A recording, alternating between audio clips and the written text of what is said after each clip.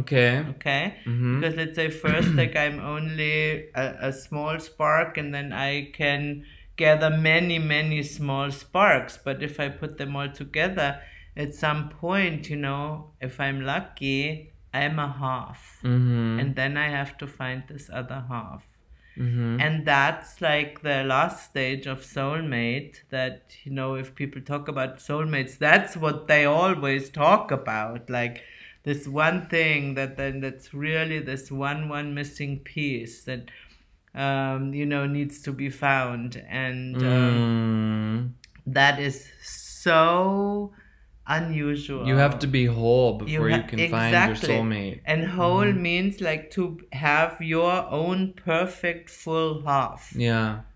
before you can find this other half and attach to it and connect to it. Yeah.